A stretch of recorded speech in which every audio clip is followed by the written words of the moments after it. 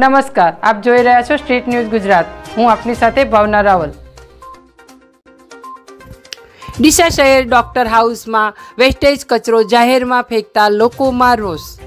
આજે વાત કરીએ તો ડીસા ગાયત્રી મંદિર સામે આવેલ ડોક્ટર હાઉસમાં આવેલ ગોપી હોસ્પિટલની. ડીસાની ગાયત્રી મંદિર સામે આવેલ ગોપી હોસ્પિટલની સામે મેડિકલ વેસ્ટ ફેંકાતા લોકોમાં રોષ. સરકારના નિયમોની જોવા મળી રહી છે એસી તેસી. કહેવાય છે કે તબીબ એટલે ભગવાનનું બીજું રૂપ છે. અને કોઈ પણ વ્યક્તિ બીમાર થાય ત્યારે હોસ્પિટલમાં જાય અને દર્દીને નવું જીવનદાન મળી રહે. પરંતુ છેલ્લા કેટલાક સમયથી ડીસાની અનેક હોસ્પિટલમાં બેદરકારી દિન પ્રતિદિન બહાર આવી રહી છે.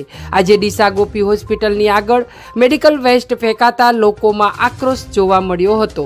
એક જાગૃત નાગરિક દ્વારા સોશિયલ મીડિયાના માધ્યમથી ગોપી હોસ્પિટલની આગળ સામેના ખુલ્લા પ્લોટમાં મેડિકલ વેસ્ટ જોવા મળતા વીડિયો બનાવીને સોશિયલ મીડિયામાં વાયરલ કરવામાં આવ્યો હતો અને ટ્વિટરના માધ્યમથી લાગતા વળગતા અધિકારીઓને રજૂઆત કરવામાં આવી હતી, જેમાં ગોપી હોસ્પિટલની સામે આવેલ ખુલ્લા પ્લોટમાં, લેબોરેટરીમાં ઉપયોગમાં બ્લડ સેમ્પલની શીશીઓ પણ ખુલ્લા પ્લોટમાં જોવા મળી રહી છે.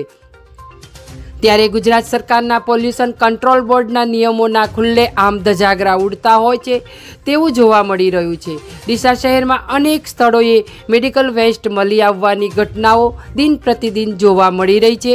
આજે પણ ગોપી હોસ્પિટલની આગળ અને સામેના ખુલ્લા પ્લોટમાં મેડિકલ વેસ્ટ મળી આવતા આરોગ્ય વિભાગ, નગરપાલિકા અને પોલ્યુશન કંટ્રોલ બોર્ડની કામગીરી સામે અનેક સવાલો ઉઠી રહ્યા છે.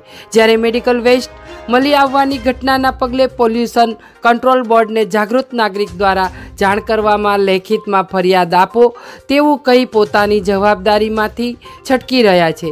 સરકાર પાસે મસ્ત મોટી આવક મેળવતા પોલ્યુશન કંટ્રોલ બોર્ડની કામગીરી સામે અનેક સવાલો ઊભા થઈ રહ્યા છે. ત્યારે જે હોસ્પિટલમાં દર્દીઓ સાજા થવા આવે છે, તે જ હોસ્પિટલમાં દર્દીઓને બીમારીમાં સપડાય તો જવાબદારી કોણ રહેશે?